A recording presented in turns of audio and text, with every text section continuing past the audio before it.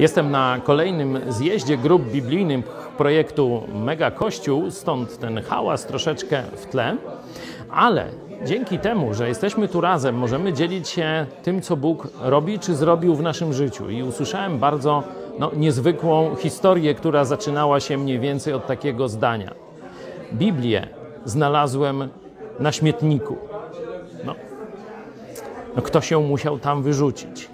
Ktoś uznał, że ta księga jest mu do niczego niepotrzebna i można ją wyrzucić do kosza, wyrzucić na śmieci.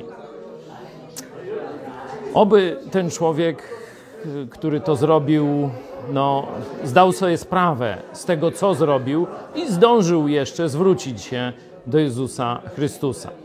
Drugi człowiek znalazł Księgę Boga na śmietniku. Zaczął ją czytać.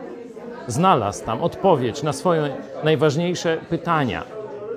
Znalazł dobrą nowinę o Jezusie Chrystusie. Dzisiaj jest moim zbawionym bratem. Kiedy słyszałem tę historię, przypomniały mi się słowa z pierwszego listu apostoła Piotra, gdzie z drugiego rozdziału, gdzie tak oto Bóg mówi o Jezusie. Oto kładę na Syjonie kamień węgielny, wybrany, kosztowny. A kto weń wierzy, nie zawiedzie się. Dla was, którzy wierzycie, jest on rzeczą cenną.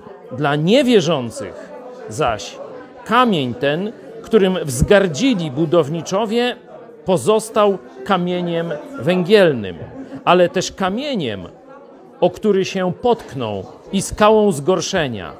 Ci, którzy nie wierzą słowu, potykają się oń, na co zresztą są przeznaczeni. Jak jest z Tobą? Co zrobisz z Jezusem?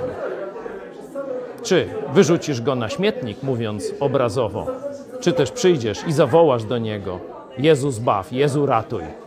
Chcę być Twój.